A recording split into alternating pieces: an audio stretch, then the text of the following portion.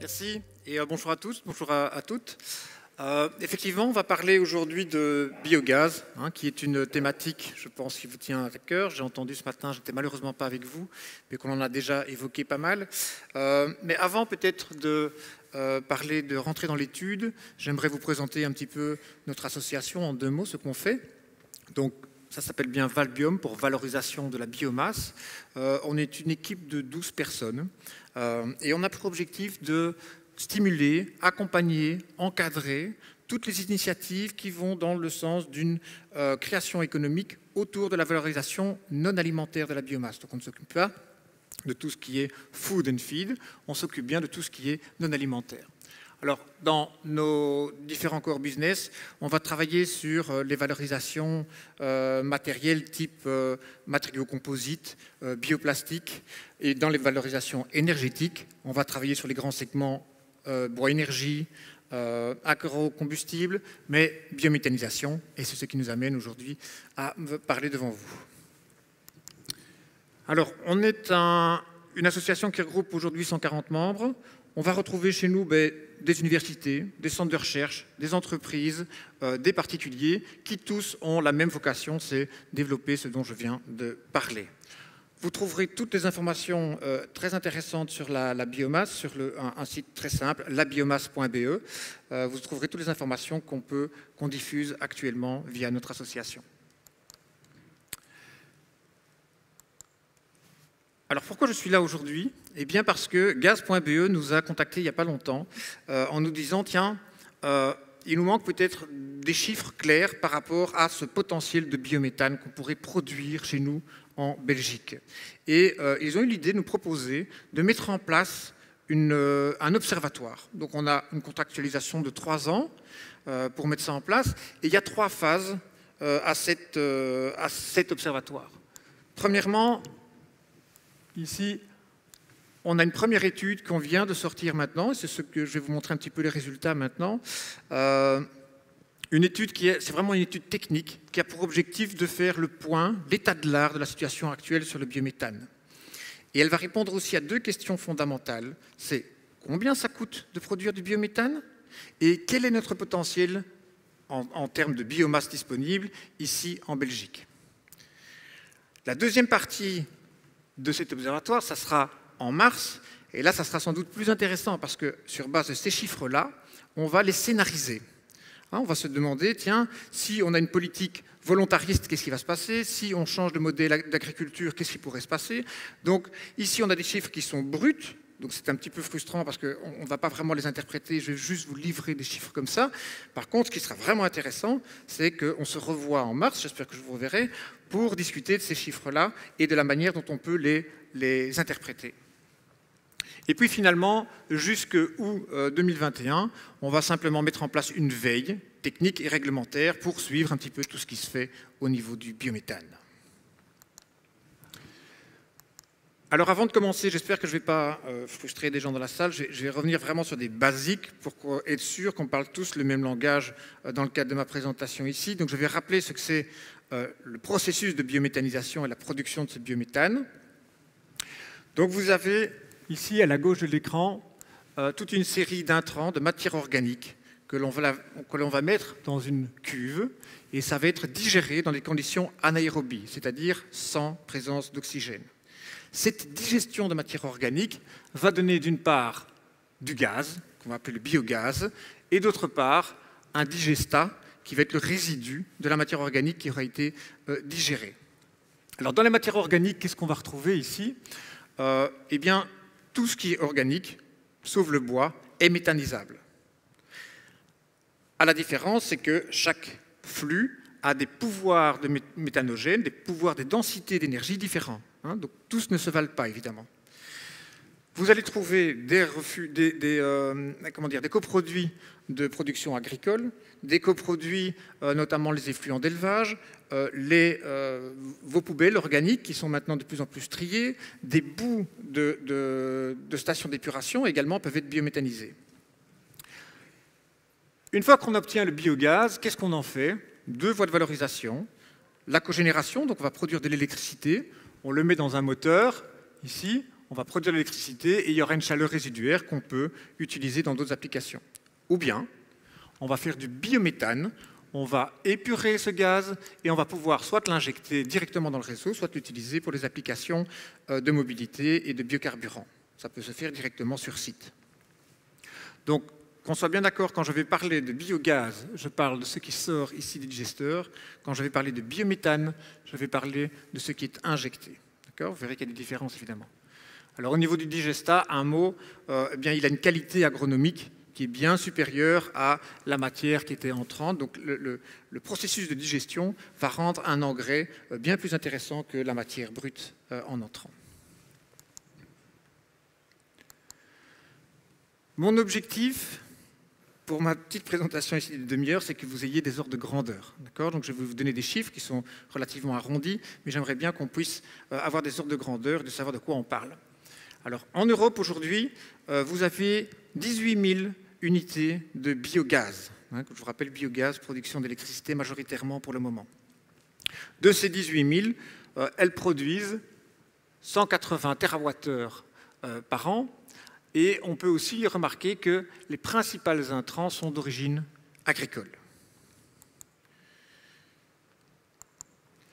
Au niveau du biométhane maintenant, l'injection, on remarque que de plus en plus de pays mettent en place des cadres légaux et des cadres de soutien euh, pour la production de biométhane.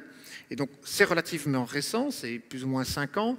Euh, et on voit que 14 pays sur 30 euh, analysés ici par la Fédération européenne du biogaz, ont déjà un cadre et ont déjà des unités qui fonctionnent et qui injectent directement dans le réseau de, euh, gaz.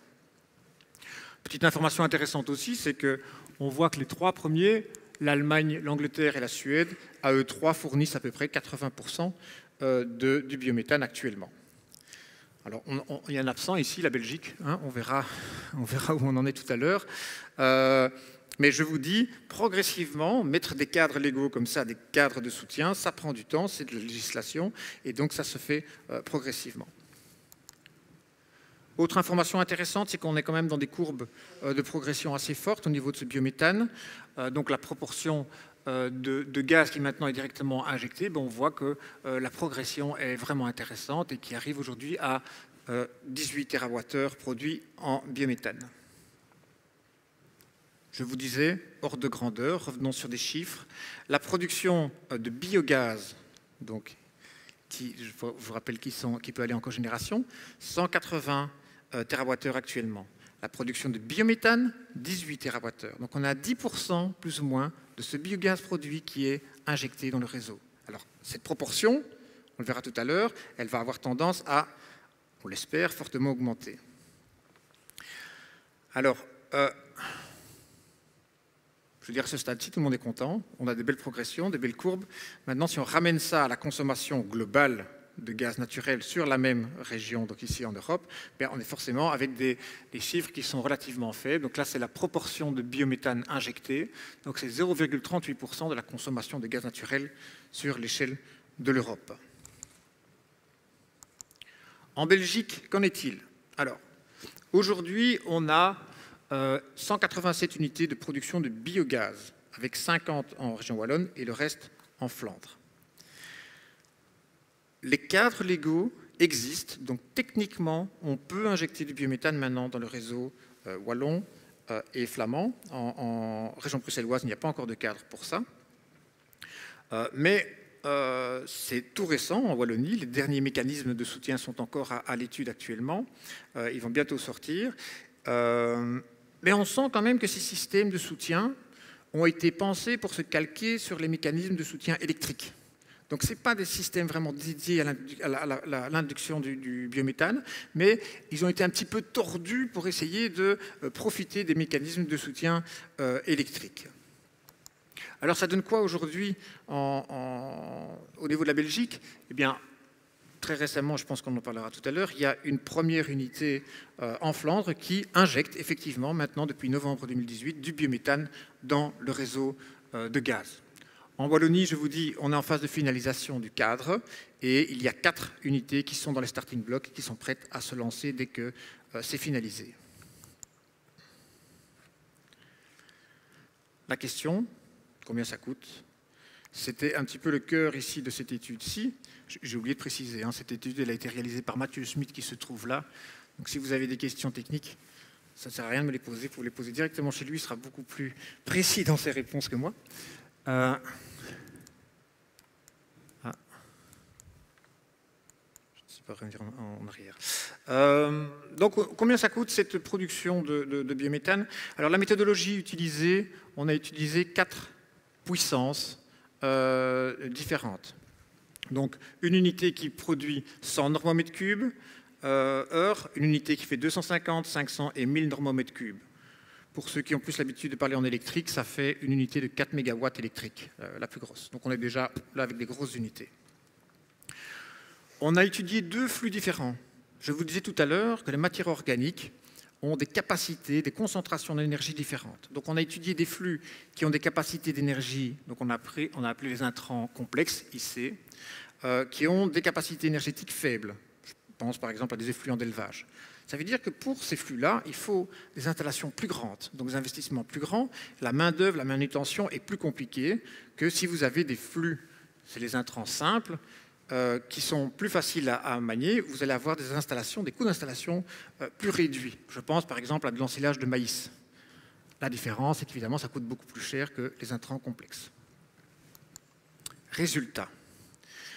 Alors voici le graphique, vous avez en ordonnée ici le prix euh, au mètre cube, euh, pardon, excusez-moi, au, mégawattheure produit, et vous avez ici la taille euh, des unités. Alors, le, modèle ici économique, c'est pour essayer d'avoir une entreprise, une, unité qui soit rentable avec un taux de rentabilité de 9%. Ça veut dire que, si je prends un exemple ici, par exemple, une unité de 500 normomètres cubes, de 500 mégawattheures, pardon, normomètres cubes, je dis bien, doit, va avoir un coût de production de 83 euros pour arriver à un taux de rentabilité de 9% de, son unité. Alors, quelles sont les deux, indications qu'on voit sur ce graphique? Vous avez en dessous les flux complexes et au-dessus euh, les flux euh, simples. Ça veut dire qu'il est plus rentable de travailler avec des flux complexes. Même si le, taux d'investissement est plus fort, euh, ça vaut quand même la peine de travailler avec ça. Maintenant, quand vous allez parler avec un biométhaniseur, je parlais avec Gaëtan de Sony, là, qui est dans la salle juste avant, il me dit oui, mais ça, peut engendrer pas mal de problèmes euh, de travailler avec ces flux qui sont un petit peu plus complexes à manier. Il n'empêche qu'on voit quand même qu'il y a une différence de 10 euros entre les deux flux. L'autre information, c'est que on voit un petit peu une césure ici, euh, où dans la première partie, on a des économies qui sont vraiment fortes en fonction de la taille, et à partir d'ici, je veux dire, la taille de l'unité de, production ne va plus faire varier énormément euh, le taux, euh, le prix de production du biogaz. Alors ici, c'est bâtonnet, vous avez l'ensemble des coûts de production. À partir de la barre rouge ici, ce sont tous les CAPEX, donc les, les frais d'investissement pour l'épuration, le raccordement et ici pour euh, la production du biogaz brut. Au-dessus, vous avez tous les OPEX, les, prix opérationnels. Vous avez ici le prix des intrants, qui est un des coûts les plus importants dans, cette entreprise de biométhanisation, et puis toute une série d'autres coûts comme l'entretien, la main-d'œuvre, etc. Que nous dit ce graphique? Parce qu'on pourrait dire, on, en a parlé dans la, présentation juste avant, ben que l'injection du biométhane va pouvoir bénéficier d'améliorations technologiques extraordinaires et on va pouvoir faire des, coûts de production beaucoup moindres Eh bien, pas tellement. Parce que les deux coûts les plus importants, c'est l'investissement pour la production de biogaz, et ça, c'est une technologie qui est mature, vous n'allez pas pouvoir faire énormément d'économies dessus. Et l'autre grande partie, ce sont les flux. Et ça, c'est les, prix du marché, on a peu de, de, main dessus. Donc, vous allez pouvoir faire des améliorations technologiques sur l'ensemble des, autres, euh, des autres coûts. Donc, une étude française dit dans le meilleur des cas, on pourra améliorer la situation de 30%. Alors, euh, de nouveau, pour essayer de, donner des échelles de grandeur, aujourd'hui, le, euh, gaz naturel, il est vendu à 20 euros euh, du mégawattheure, et le biométhane, on l'a vu, c'était entre 74 et 120 euros. Donc ça veut dire qu'on est quand même à 4 à 6 fois plus cher que du gaz naturel actuellement. Ça, c'est l'information, je veux dire, clé. Donc ça veut dire que dans le court terme et le moyen terme, un soutien financier est toujours nécessaire pour la production de ce biogaz et de son injection dans le, réseau. L'autre question qui a été soulevée par l'étude, c'est quel est notre potentiel en Belgique? Est-ce qu'on va pouvoir faire du biogaz, euh, remplacer complètement le gaz naturel euh, dans un horizon euh, relativement court? Alors comment a-t-on fait ça? On avait déjà réalisé une étude chez Valbium d'estimation de la biomasse disponible pour les applications non alimentaires. Donc on prend la surface agricole totale du pays, on soustrait de cette, euh, de cette, surface, de cette production totale, tout ce qui a déjà une application, donc en, food principalement et en feed, et il nous reste une biomasse euh, potentiellement utilisable pour d'autres applications non alimentaires. À partir de ça, on va appliquer des, taux de conversion euh, sur les différents flux qu'on a identifiés. Puisque je vous disais, un, intrant n'a pas le même pouvoir calorifique qu'un autre, et donc on a fait pour chaque flux ce calcul-là.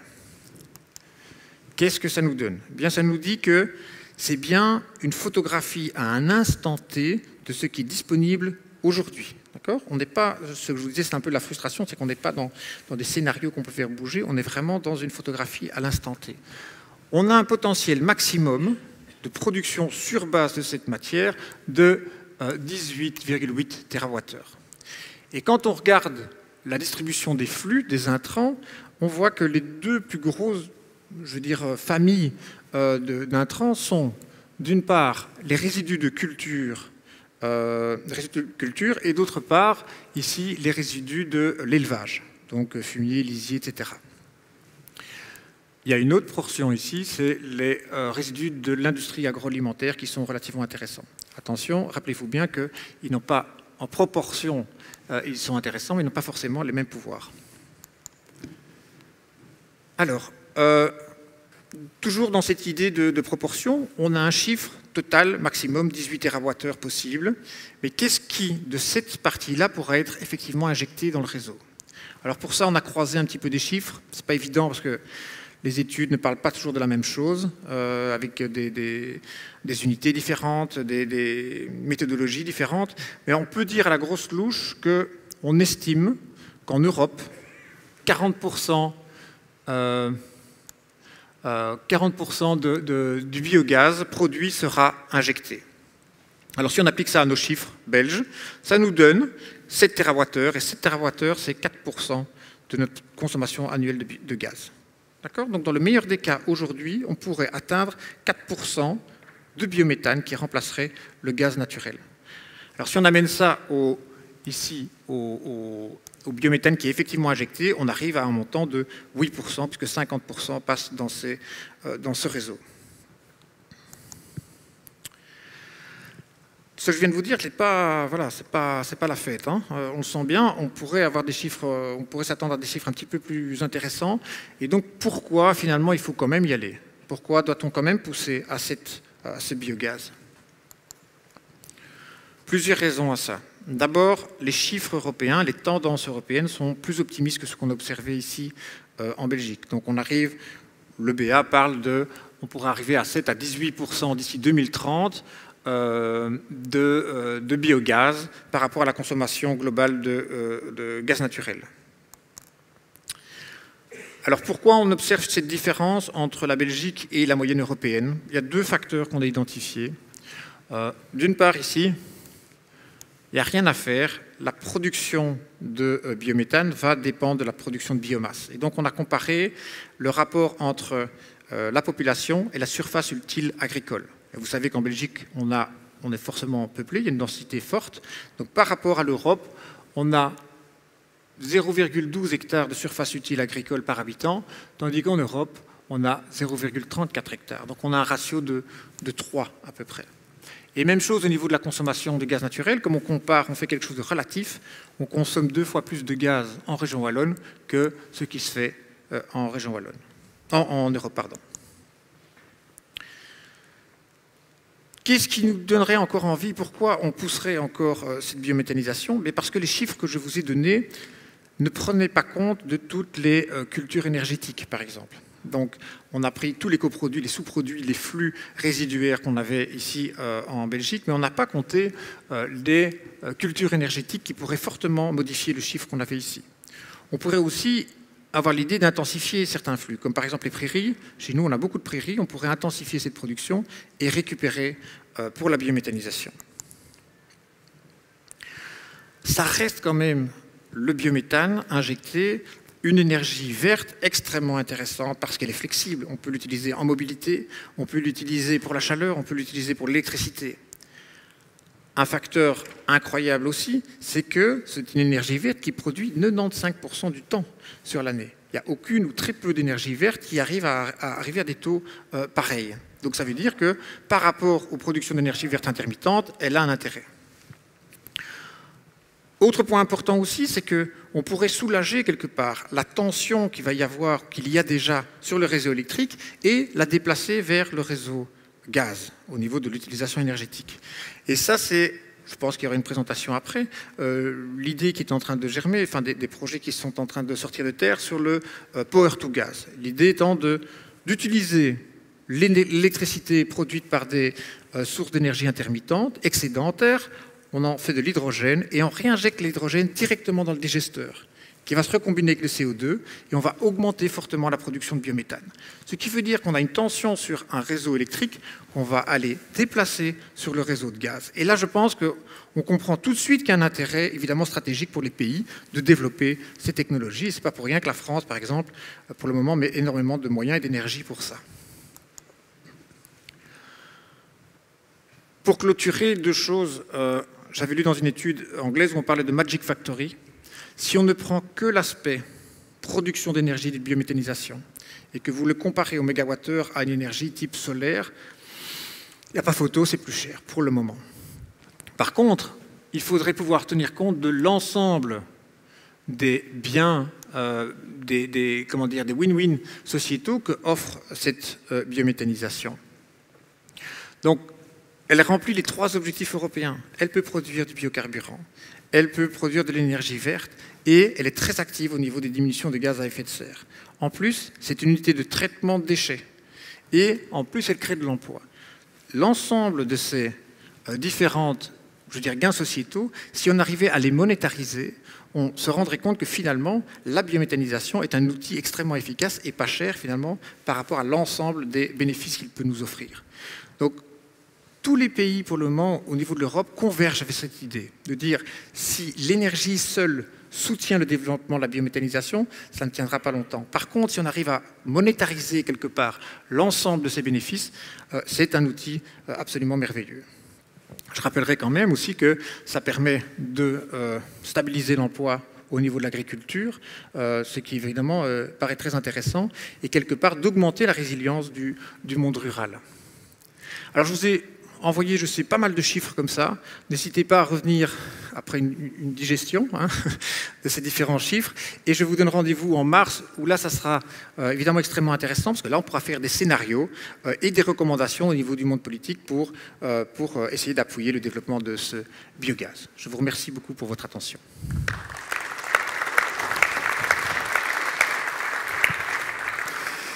Merci Bertrand. On va juste regarder s'il y aurait encore une question sur la plateforme. Let's have a look if there were any questions on the Slido platform. Ah, potentiel de biométhane en Belgique, 4% de la consommation annuelle. Et en comptant les énergies CROP, on arrive aux alentours de combien? Alors, dans le modèle qu'on avait euh, utilisé ici, c'est une bonne question, on a estimé 4% du, euh, du volume de silage de maïs. Donc on a quand même compté une petite part de, euh, de culture dédiée. Alors on ne sait pas répondre à cette question-là, puisque ça, ça va être une question, je veux dire, plus politique. Est-ce qu'on accepte de produire sur des terres euh, aujourd'hui des cultures qui vont servir à des fins énergétiques? C'est un débat euh, sans fin. en France, par exemple, on parle d'une limitation à 25%. Mais prenez simplement 25% en plus avec un pouvoir méthanogène haut, vous allez directement transformer les chiffres que je vous ai montrés. J'ai oublié de vous dire qu'il y a aussi une notion intéressante qui voit le jour, ce sont les cultures intercalaires. Vous avez deux cultures entre les deux cultures, pour ceux qui connaissent un peu l'agriculture, on met des cultures qui, sont des, pièges à nitrate, pendant l'hiver pour que les nitrates n'aillent pas dans les nappes phréatiques. Ces cultures-là, on pourrait les optimiser pour les utiliser euh, à des fins énergétiques. Et de nouveau, on peut tout à fait transformer les pourcentages que j'ai présentés ici. Mais ça, ça sera en mars. Si on prend les déchets ménagers comme euh, matière première, quel est le potentiel relatif au biométhane injecté euh, Alors là, il faudrait qu'on me dise ce qu'on entend par euh, relatif. remettez un petit peu la question. Quel est le potentiel relatif au biométhane injecté à partir de déchets ménagers Donc je suppose la, la question, c'est de savoir quel est le pouvoir méthanogène de ces, de ces flux-là. Donc les flux, ça représentait plus ou moins 4% dans l'ensemble des flux euh, en région wallonne. Et son pouvoir méthanogène, là je passerai peut-être la parole à, à, Mathieu s'il a une, une, réponse plus euh, technique par rapport à ça. Euh, Mathieu, qui est? Là 60. Voilà. Voilà. Mais pour les questions plus techniques comme ça de conversion, là je vous conseille directement de vous adresser à Mathieu. Ok. Dernière question. Pas de problème d'odeur Non. Alors, ça, c'est un autre travail qu'on entreprend souvent, c'est qu'il y a énormément euh, d'idées reçues par rapport à la biométhanisation et il y a un gros travail didactique à faire autour de ça. Non, il n'y a pas de, problème d'odeur, j'ai envie de dire même, il en résout. Parce que quand vous avez un lisier ou un fumier que vous allez pendre sur le champ, il a une forte odeur, tandis que le digestat, qui est la, la, partie résiduaire dont je vous parlais, il n'a pas du tout d'odeur. Donc au contraire, on était dans, des, euh, dans une opération positive. Ok, je vous remercie. Merci beaucoup.